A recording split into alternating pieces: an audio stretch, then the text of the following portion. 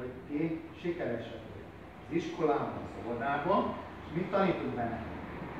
És a másik nagy cél, hogy úgy tanuljátok meg ezt, hogy nagykorotokban is tudjátok használni, legyen sok-sok szép emléketet, és ebből a tudással meg tudjátok védeni magatok.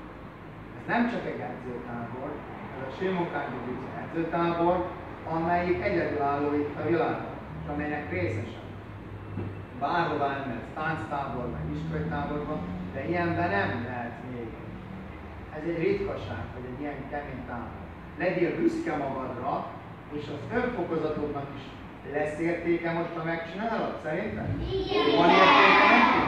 Tudsz vigyázni az övedre meg a ruhádra? Fontos, hogy arra vigyázzak?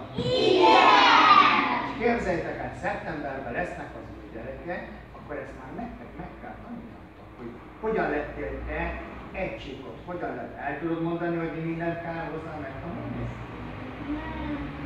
De, Igen. ugye? Hogy ahogy megtanulod?